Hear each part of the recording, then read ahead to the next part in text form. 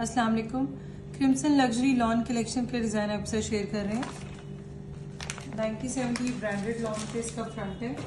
Fully printed shirt है इसकी। इसके ऊपर हेवी एम्ब्रॉयडर्ड चिकनकारी है। सेम कलर ऑन कलर पे।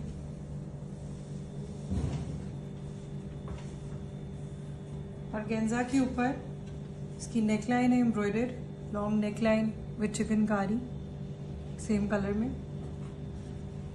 वन पीस फ्रंट है, ये पैनल्स के दरमियान आएगी और गेंसा पे इसका फ्रंट दामन बॉर्डर है एम्ब्रॉयडर्ड सेम कलर में।